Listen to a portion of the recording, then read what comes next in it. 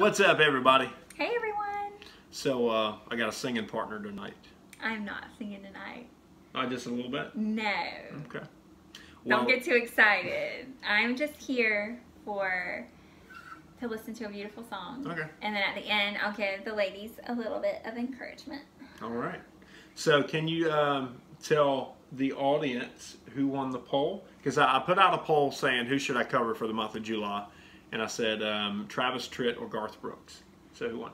Travis Tritt. Travis Tritt. And I was, I don't know that I was um, crazy surprised, but I, you know, he's a Georgia boy, and we live in Georgia, so maybe that was it. Um, but yes, Garth Brooks is pretty big, so kind of somewhat surprised me a little bit. Yeah. Yeah. But um, and if you haven't watched the Garth Brooks special on Netflix, it's really good. You need it's to watch really it. good. But um, anyways, we're gonna do a Tritt song for you, and um, I love me some Travis Tritt. And what's the uh, what's the first one we're gonna do, Brittany? It is Best of Intentions. Best of Intentions. Awesome song. Um, so here we go.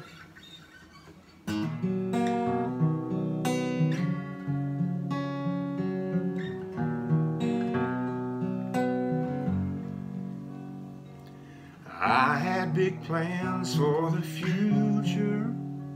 I said I'd give you the world somehow. I tried making good on that promise. I thought I'd be so much further by now. I never could build you a castle. Even though you're the queen of my I had the best of intentions from the start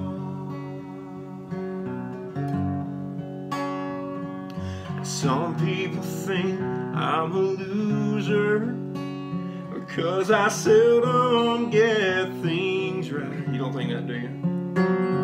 But you make me feel like a winner When you wrap me in your arms so tight.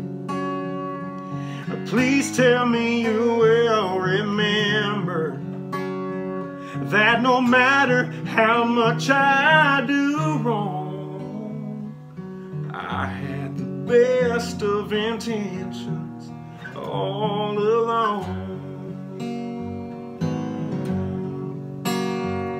I'd give you a ring and I promise you I always thought we'd do. But my best laid plans slipped right through my hands to show my love for you. And if you could read my heart, then you'd know without exception it was all best of intentions.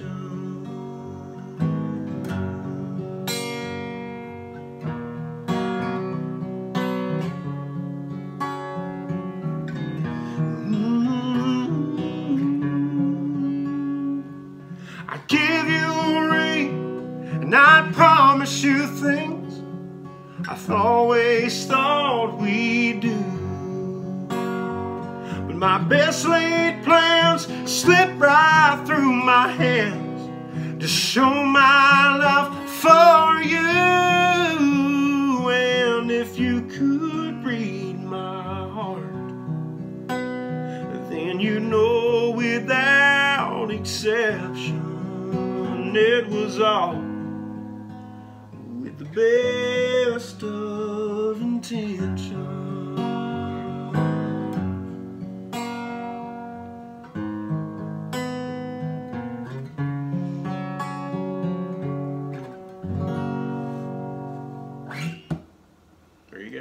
Best of intentions. Ah, such a tearjerker.